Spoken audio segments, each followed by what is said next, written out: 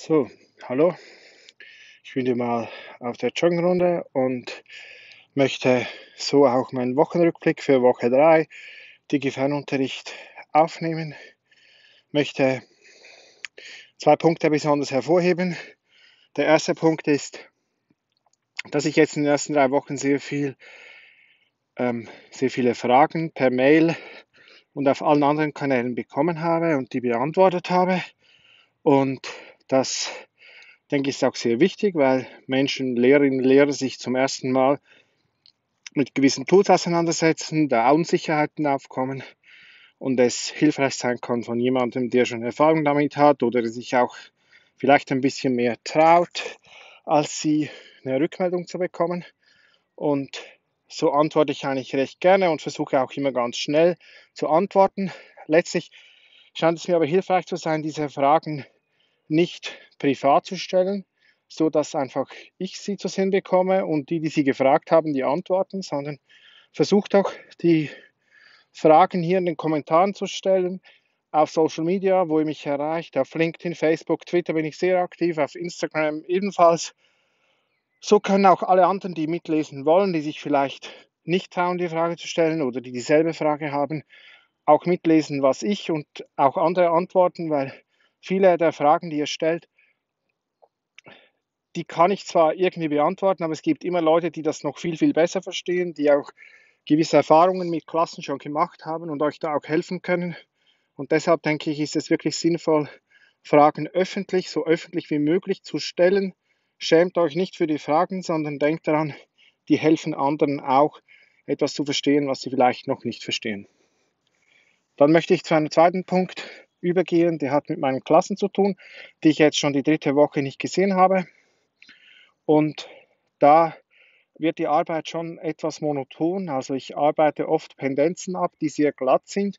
Ich habe nicht den Wechsel von Räumen, dass ich dann wieder irgendwo reinkomme, eine Präsenz habe, sondern die Räume sind bei mir immer Teams Videochats oder Teams Diskussionen oder Teams Datei-Upload.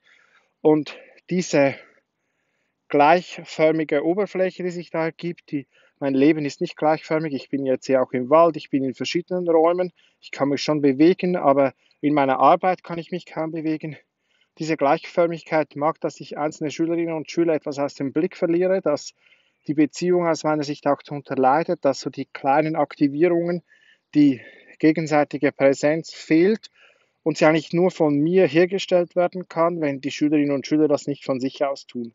Und das ist aus meiner Sicht der größte Aufwand, an alle zu denken. Ich habe nicht sehr viele Schülerinnen und Schüler, es sind ungefähr 80, die ich betreue und ähm, habe noch Studierende ungefähr 10 oder 15.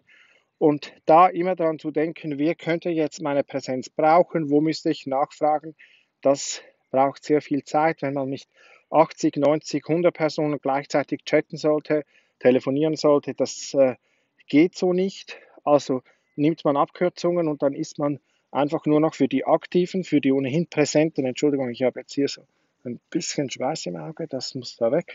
Gut, ähm, dass man einfach nur für die da, die ohnehin präsent sind und das ähm, finde ich sehr, sehr schade. Es fehlt auch so an der Vertrauensarbeit. Da werde ich dann noch einen längeren Beitrag dazu machen, wie Vertrauen überhaupt funktioniert, auch im Digi-Fernunterricht und dieses ähm, dieses Thema beschäftigt mich, dass wir dann auch nach den Ferien, wenn man sich dann fünf Wochen nicht mehr gesehen hat oder sechs Wochen nicht mehr gesehen hat, noch viel intensiver sein.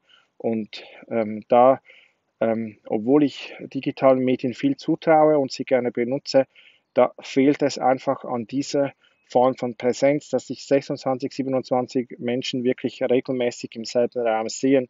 Das ist so nicht möglich und ähm, darunter leidet diese wichtige pädagogische Beziehungsarbeit.